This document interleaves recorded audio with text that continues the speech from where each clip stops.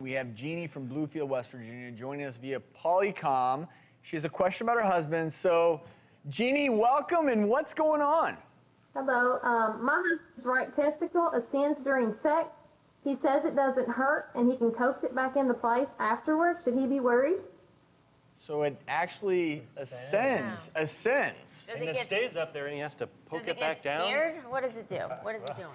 Well, it is sort of a natural defense mechanism. The testicles are surrounded by a thin layer of muscle that pull them high and tight during sex. But as long as it doesn't hurt and it drops back down, it's no problem.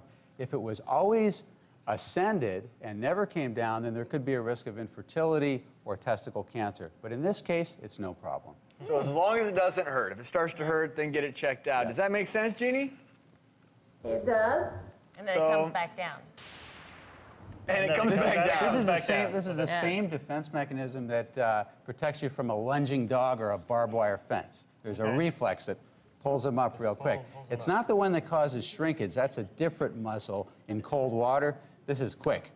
Good stuff. Yeah. And Aaron, it's Yeah. normal for a man that the two testicles are not at the same level, and, and again, that one may go up more than the other. Perfectly normal.